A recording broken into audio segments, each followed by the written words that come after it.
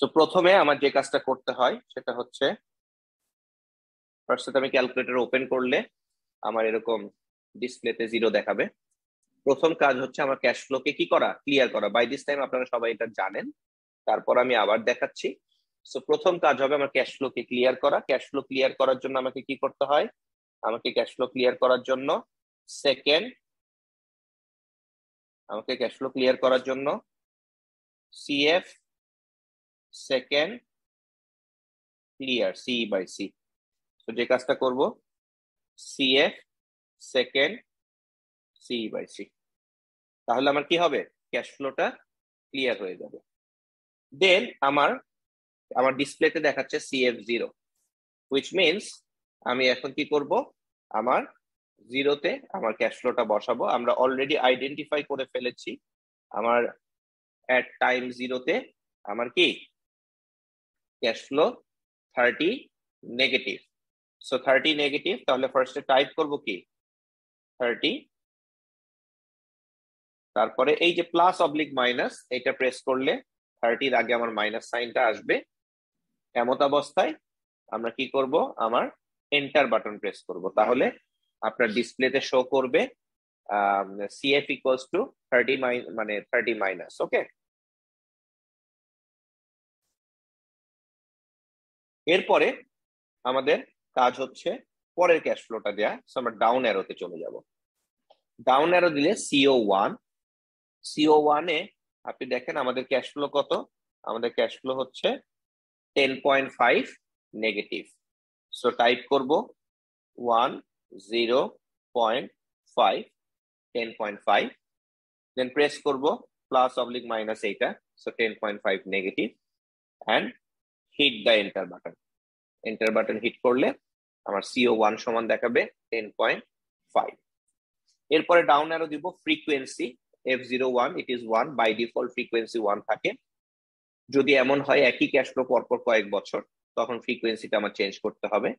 খেয়াল করে দেখেন, আমার এখানে কোনো ক্যাশ ফ্লো পরপর একই ক্যাশ ফ্লো পরপর দুই বছর নাই। সো কোনোটাতেই আমার ফ্রিকোয়েন্সি চেঞ্জ করতে হবে না। সবগুলোতেই ফ্রিকোয়েন্সি আমার ওয়ানই থাকবে। সো বাই ডিফল্ট আমরা ওয়ান দিব। এটা যা আছে তাই থাকবে, কিছু চেঞ্জ করার দরকার নাই।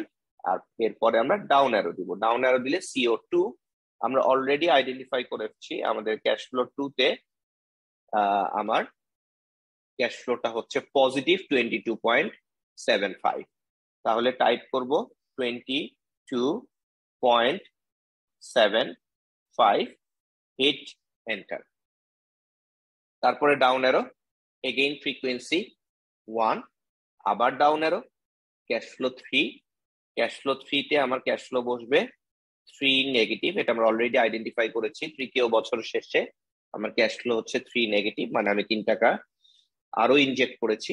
সো টাইপ করব থ্রি প্লাস অবলিক মাইনাস এটা প্রেস করব, তাহলে থ্রির আগে মাইনাস সাইন আসবে হিট এন্টার তাহলে cash flow three equals to negative three মানে আমি ইনভেস্ট করেছি।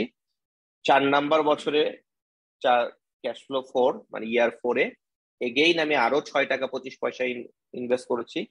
So six point two five negative six point two five sorry আমি এখানে একটু ভুল করলাম। আমি সিএফ চলে যাই। ক্যাশ ফ্লো থ্রিতে থ্রি তারপর ডাউন অ্যারো দিব।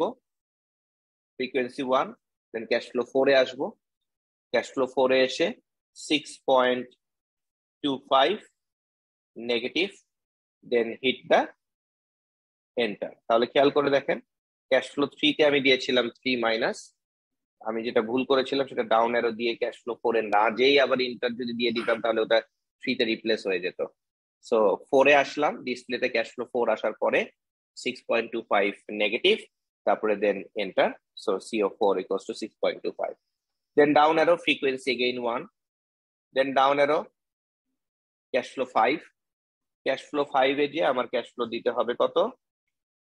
Thirty six point zero five so 36.05 positive. So 36.05 enter. তাহলে আমরা পাঁচটা ক্যাশ ফ্লো দিয়ে ফেললাম।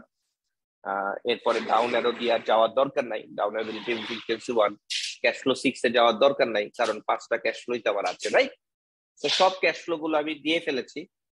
যদি আপনার হুট করে মনে হয় যে আমি কোনো একটা বসাইছি কিনা বা ভুলে অনেক সময় আমরা এন্টার না দিয়ে থাকতে পারি, এ কারণে আমরা একটু আপ অ্যারো দিয়ে দিয়ে চেক করে দেখি সবগুলো ক্যাশ ফ্লো আমরা ঠিক মতো বসাইছি কিনা।